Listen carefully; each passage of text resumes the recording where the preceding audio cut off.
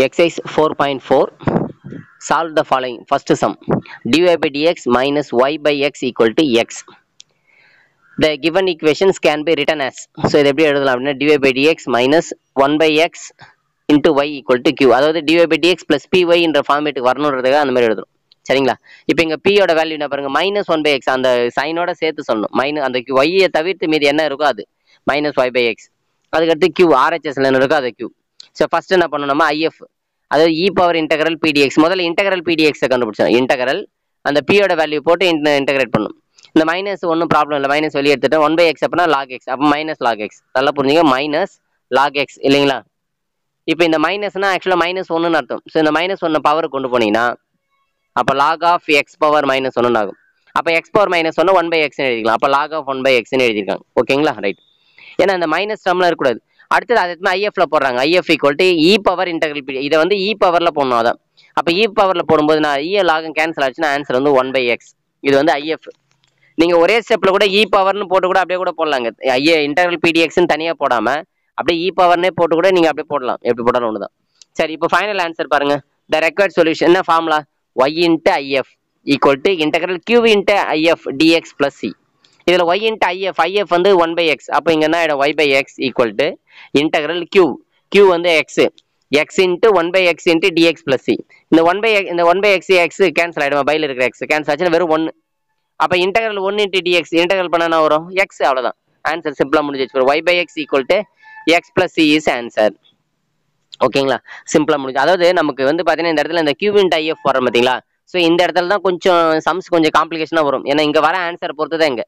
சரிங்களா? இங்கே வந்து இஎல் ஆகம் கேன்சல் ஆயிடுச்சுன்னா மேக்ஸிமம் சம்மு சிம்பிள் ஆயிடுமா? இஎல் ஆகம் கேன்சல் ஆயிட்டாலே மேக்ஸிமம் சிம்பிள் ஆயிடும். ஒரு சில நேரத்தில் இந்த இஎல் இ லாக் வராம லாக் டேர்ம் வராம வேற ஏதாவது வரும்போது இ பவர் வரும்போது தான் இந்த இடத்துல கொஞ்சம் கேர்ஃபுல்லாக பண்ணணும். ஓகேங்களா? அடுத்த சம் பாருங்க. Second problem dy by dx plus y cos x equal to sine x cos x இதுவும் பாருங்க. Dy by dx plus py equal to கியூன்ற ஃபார்மேட்ல இருக்கு. அப்போ இங்கே பி என்ன அப்படின்னா ஒய் கூட என்ன டேர்ம் இருக்கு அதான் பி அப்போ பி வந்து என்னது? காஸ் எக்ஸ் கியூ வந்து சைன் எக்ஸ் காஸ் எக்ஸ் சரி ஃபர்ஸ்ட் வந்து இன்டெகிரல் பிடிஎக்ஸ் இன்டெகிரல் பியோட வேல்யூ வந்து cos x dx cos x integrate பண்ணலாம். காஸ் எக்ஸ் இன்டெகிரேட் பண்ண சைன் எக்ஸ் இப்போ இது ஐஎஃப்ல போடுங்க. இ பவர் இன்டெகிரல் பிடிஎக்ஸோட வேல்யூ சைன் எக்ஸ் இல்லையா? அப்போ இ பவர் சைன் எக்ஸ் அது எதுவும் கேன்சல் எதுவும் ஆகாது. அப்போ இ பவர் சைன் எக்ஸ் அப்படியே வச்சுக்கு. இப்போ எதுவும் வந்து அப்படியே சப்சிட் பண்ணுங்க பார்க்கலாங்க. இங்கே சப்சிட் பண்ணலாம். இங்கே பாருங்க. Y into IF y into e power sine x நமக்கு லெஃப்ட் சைடில் வேலையே கிடையாது. நம்ம லெஃப்ட் சைடில் ஒன்லி சப்சிட் பண்ணுறது மட்டும் அதாவது ஒய் இன்ட்டு ஐஎஃப் அது கடைசி வரலாம் அப்படியே தான் வரும். நமக்கு இந்த ரைட் சைடு மட்டும் தான் இன்டெகிரல் பார்ட் இருக்கு இல்லையா? ஸோ அந்த பார்ட் மட்டும் தான் கேர்ஃபுல்லாக பண்ணும் பாருங்க. கியூவோட வேல்யூ வந்து பார்த்தீங்கன்னா சைன் எக்ஸ் அப்புறம் ஐஎஃப் வந்து e power sine x dx plus c நான் தான் சொன்னேன் இல்லைங்களா? அந்த இ பவர் கேன்சல் ஆயிடுச்சுன்னா நமக்கு கொஞ்சம் ஈஸியாக வந்துடும் அந்த இ கேன்சல் ஆகலனா தான் நமக்கு கொஞ்சம் க- கொஞ்சம் கேர்ஃபுல்லாக பண்ணணும்னு சொன்னேன் இல்லைங்களா? ஸோ அதுதான் இந்த சம் வந்திருக்கு பாருங்க. ஸோ ஸோ எப்படி போடலாம் பாருங்க? சைன் எக்ஸை டீன்னு வச்சுக்கிறாங்க. Put sine x equal to t உடனே சைன் எக்ஸை டீன்னு வச்சு உடனே டிஃபரன்ஷியேட் பண்ணல சைன் எக்ஸ் டிஃபரன்ஷியேட் பண்ணால் cos x dx equal to dt இந்த மாடல்லாம் நம்ம ஏற்கனவே நம்ம செகண்ட் சாப்டர்லேயே பார்த்தோம். So cos x dx equal to dt அப்போ இங்க பாருங்க. இங்க காஸ் எக்ஸ் இருக்கா? டிஎக்ஸ் இருக்கா? அதுக்கு மேலே டிடின்னு போட்டுடலாம். அதே மாதிரி இ பவர் சைன் எக்ஸ் இருக்க இடத்துல டீன் போட்டுக்கலாம். அதே மாதிரி இங்கே சைன் எக்ஸ் இருக்க இடத்துல டீன் போட்டுக்கலாம். அப்போ என்ன ஆகும் பாருங்க இந்த இடத்துல ஒரு டி வருமா? டி இதுக்கு ஒரு இ பவர் டி இந்த காஸ் எக்ஸ் டிஎக்ஸ் மேலே டிடி பிளஸ் சி அவ்வளோதான் இப்போ ஆக்சுவலாக integrating by parts okay last class பார்த்தோம் நம்ம.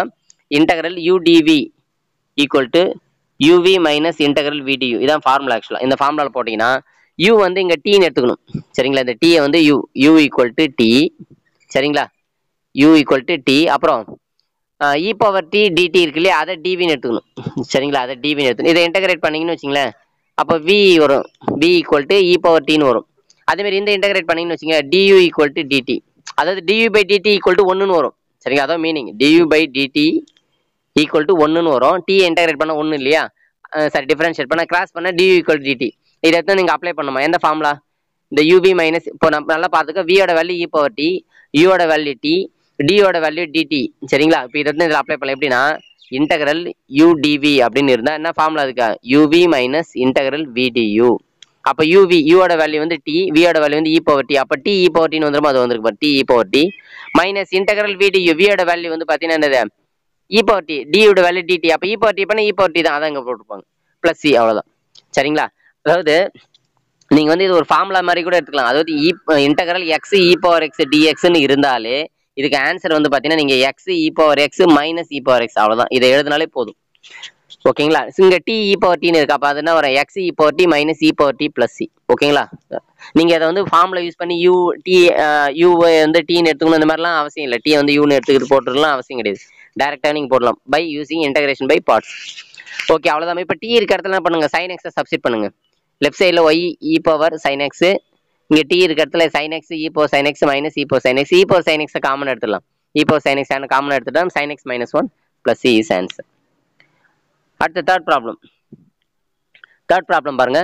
X dy by dx plus two y equal to x power four இப்போ நான் ஆக்சுவலாக இங்கே எக்ஸ் இருக்கக்கூடாது. ஏன்னா நமக்கு அந்த ஃபார்மேட் வந்து பார்த்தீங்கன்னா dy by dx plus py அப்போ இந்த எக்ஸால் டிவைட் பண்ணி டிவைட் பண்ணிட்டுனா என்ன ஆகும்? டூ ஒய் பை எக்ஸ் அதேமாதிரி ரைட் சைடில் டிவைட் பண்ணும்போது என்ன ஆகிடும் நம்ம எக்ஸ் பவர் ஃபோர் ஒரு எக்ஸ் கேன்சல் ஆகி எக்ஸ் கியூப் இப்போ வந்து dy by dx plus py இங்கே பியோட வேல்யூ என்ன தெரியுது பாருங்க?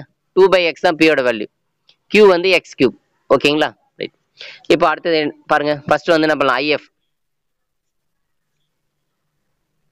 ஃபர்ஸ்ட் வந்து dy by dx plus py equal q ஃபார்மேட்டில் இருக்குது ஸோ பி கியூ எழுதியாச்சு. ஃபர்ஸ்ட் வந்து integral pdx integral two by x dx two common இடத்துல ஒன் பை எக்ஸ் இன்டகிரேட் பண்ண லாக் எக்ஸ் அப்போ டூ லாக் எக்ஸ் இந்த டூ வந்து பவர் கொண்டு போயிடுங்க. அப்போ என்ன? லாக் எக்ஸ் ஸ்கொயர் அப்போ தான் நமக்கு இதில் சப்சிட் பண்ணும்போது இ கேன்சல் ஆகும். அப்போ IF equal to e power integral pdx so பியோட இன்டகரல் பிடிஎக்ஸோட வேல்யூ வந்து log x square e log cancel ஆகி x square okay x square வந்துருச்சுங்களா right இப்போ final answer but the required solution y into IF integral q into IF dx plus c so கியூவோட value வந்து X cube இது ஒரு X square அப்போ X power five நான் ஏற்கனவே சொல்லியிருக்கேன் இந்த e இ cancel ஆகிட்டாலே நமக்கு வந்து சம் வந்து எளிமையாயிடும் அப்படின்னு சொல்லியிருக்கேன். ஸோ அதுதான் பாருங்க. X square by left side அது ப்ராப்ளம் இல்லை. ரைட் சைடு பண்ணி எக்ஸ் பவர் ஃபைவ் ஆயிடுது இன்டகிரேட் பண்ண x power six by six அவ்வளோதான் x power n formula x power n plus one by n plus one அவ்வளோதான் சிம்பிளாக முடிஞ்சிச்சு. அவ்வளோதான் ஆன்சர் அடுத்தது fourth problem dy by dx plus 3x square by 1 plus x cube into y equal to 1 plus x square by 1 plus x cube. The given equation is the form of dy by dx plus py equal to q என்ற ஃபார்மேட்ல இருக்கு இங்க p யோட value பாருங்க y க்கு முன்னாடி என்னென்ன terms இருக்கு பாருங்க 3x square by 1 plus x cube q யோட வேல்யூ வந்து 1 plus x square by 1 1 plus x cube answer q இப்போ சப்ஸ்டிட் பண்ண முதல்ல இன்டெகிரல் pdx போடுங்க இன்டெகிரல் p யோட வேல்யூ பாருங்க 3x square by 1 plus x cube into dx இது எப்படி இன்டகிரேட் பண்ணுறது ரொம்ப சிம்பிள் டினாமினேட்டருக்கு டிஃபரன்ஷியல் பண்ண நியூமரேட்டருக்கு வருது பாருங்க. டினாமினேட்டருக்கு டிஃபரன்ஷியல் பண்ணால் ஒன் பிளஸ் எக்ஸ் கியூப் இருக்கா? இதை டிஃபரன்ஷியல் பண்ண ஒன் டிஃபரன்ஷியல் பண்ண zero three x x cube பண்ணால் த்ரீ எக்ஸ் ஸ்கொயர் அதாவது n into x power n minus one ஃபார்ம்ல அப்போ என்ன பண்ணலாம்? ஃபார்ம்ல என்ன? லாக் ஆஃப் இல்லைங்களா? Log of f of x ஓகேங்களா? Integral f dash of x by f of x அப்படின்னு இருந்தால் லாக் ஆஃப் எஃப் ஆஃப் எக்ஸ்னு எழுதலாம். So log of one plus x cube பாருங்க. இப்போ இதை மாதிரி ஐஎஃப்ல சப்ஸ்டிட் பண்ணி. E power log of one plus x cube e log cancel ஆச்சுன்னா one plus x cube answer ஓகேங்களா நமக்கு ஈல கேன்சல் ஆயிட்டாலே நமக்கு நிறைய ஈஸி ஆயிடும் சம் இப்போ இதை ஃபைனல் ஆன்சர்ல சப்ஸ்டிட் பண்ணுங்க. The required solution y into IF equal to integral q into IF dx plus c so y into ஐஎஃபோட value வந்து ஒன் பிளஸ் எக்ஸ் கியூப் ஓகேங்களா ரைட் சைடு பாரு இன்டெகிரல் கியூவோட வேல்யூ வந்து one plus x square by one plus x cube into நமக்கு இந்த ஐஎஃபோட value வந்து one plus X cube இந்த one plus x cube one plus x cube cancel ஆயிடுமா? அவ்வளோதான் அப்போ ஒன் பிளஸ் எக்ஸ் ஸ்கொயர் மட்டும் தான் பேலன்ஸ் இருக்கும். இதை இன்டெகிரேட் பண்ணுறது ஈஸி ஒன்னு இன்டெகிரேட் பண்ண எக்ஸ் எக்ஸ் ஸ்கொயர் இன்டெகிரேட் பண்ணால் வரும். X cube by three plus c அவ்வளோதான் அவ்வளோதான் ஆன்சர் வேறு எதுவுமே பண்ண தேவை சிம்பிளாக வந்துருச்சு பாருங்க. ஓகேங்களா அடுத்து ஃபிஃப்த் ப்ராப்ளம் ஃபிஃப்த் பாருங்க. Dy by dx plus y by x equal to x e power x இப்போ இது கொடுத்துருக்கு எப்படிமா இருக்கு? Dy by dx plus py equal to கியூன்ற ஃபார்மேட்டில் இருக்கா? இப்போ இங்கே பியோட வேல்யூ என்ன பாருங்க? ஒன் பை எக்ஸ் கியூவோட வேல்யூ பாருங்க எக்ஸ் இ பவர் எக்ஸ் ஓகேங்களா ஃபர்ஸ்ட் வந்து integral pdx integral one by x dx equal to one by x integrate பண்ணால் லாக் எக்ஸ் அதை எடுத்து நீங்கள் சப்ஸ்டிட் பண்ணி வச்சு ஏ லாகும் கேன்சல் ஆச்சுன்னா எக்ஸ் அவ்வளோதான் சிம்பிளாக முடிஞ்சிடுச்சு. இப்போ ஃபைனல் ஆன்சர் பாருங்க.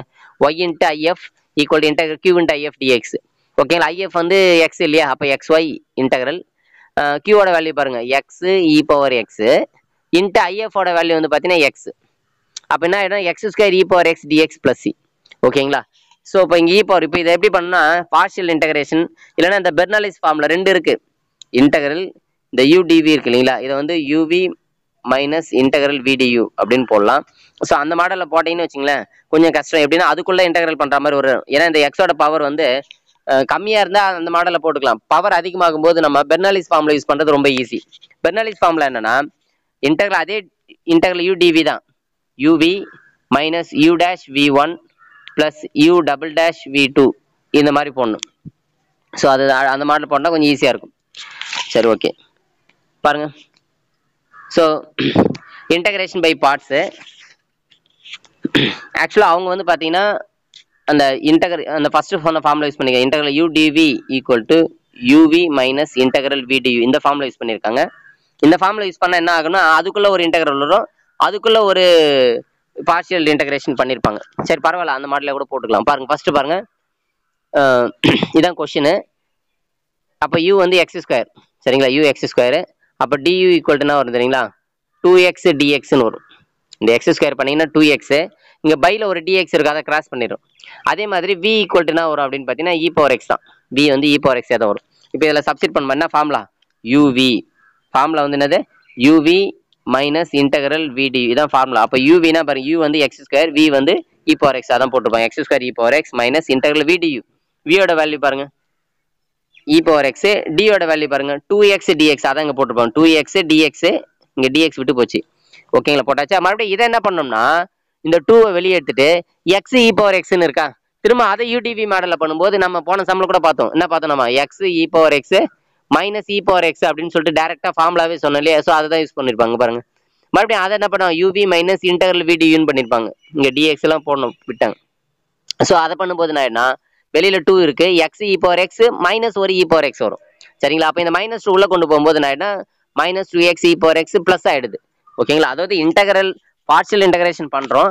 அதுக்குள்ள திரும்ப ஒரு பார்ஷியல் இன்டகிரேஷன் வரும் இங்க மறுபடியும் இதை எக்ஸ் இ பவர் எக்ஸ் வந்திருக்கா? அப்போ அதை மறுபடியும் இன்டகிரேட் பண்ணும். ஸோ இதோட பவர்ஸ் அதிகமாகும் போது என்ன ஆகும்னா கொஞ்சம் கஷ்டமா இருக்கு எக்ஸோட பவர் அதிகமாகும் போது ஏன்னா இப்போ சப்போஸ் எக்ஸ் கியூப் வந்ததுன்னு வச்சுங்க திரும்ப இதுக்குள்ள ஒரு பார்ஷியல் இன்டகிரேஷன் வரும். அப்போ கொஞ்சம் குழப்பமா இருக்கும் நமக்கு. அதோட நமக்கு பெர்னாலிஸ் ஃபார்ம்ல ஈஸியா இருக்கும். அவ்வளவுதான் இது போட்டாச்சு. இதுக்கு அடுத்து என்ன பண்ணலாம் நாங்க? இ பவர் எக்ஸை காமன் எடுத்துறாங்க. வேற எதுவுமே பண்ணல. இ பவர் எக்ஸ் மட்டும் இந்த மூணு டேர்ம்ல இருந்து இ பவர் எக்ஸ் காமன் எடுத்து ஆன்சர் வந்து விட்டாச்சு. சரி இப்போ இதை பெர்னாலிஸ் ஃபார்ம்ல வச்சு போறதா எப்படி போடலாம் அப்படின்னா யூ ஈக்குவல் டு இங்க எக்ஸ் ஸ்கொயர் யூன்னு எடுத்துக்கணும். சரிங்களா? அதே மாதிரி dv equal to e power எக்ஸை இ பவர் எக்ஸ் டிஎக்ஸை டிவின்னு எடுத்து வச்சு. இப்போ இதை இன்டகிரேட் பண்ணீங்கன்னா வி வரும். இ பவர் எக்ஸ் அடுத்து வி ஒன் பண்ணீங்கன்னா திரும்பவும் இ போர் எக்ஸ் ஏதோ வரும். வி டூ பண்ணாலும் இ போர் எக்ஸ் அப்படி அதே மாதிரி இங்கே பாருங்க. யூ டேஷ் ஒரு முறை டிஃபரன்ஷியேட் பண்ணால் two x u double dash ரெண்டு முறை டிஃபரன்ஷியேட் பண்ணால் டூ மூணு முறை டிஃபரன்ஷியேட் பண்ணால் ஜீரோ ஆகிடும் அப்போ தேவையில்லை.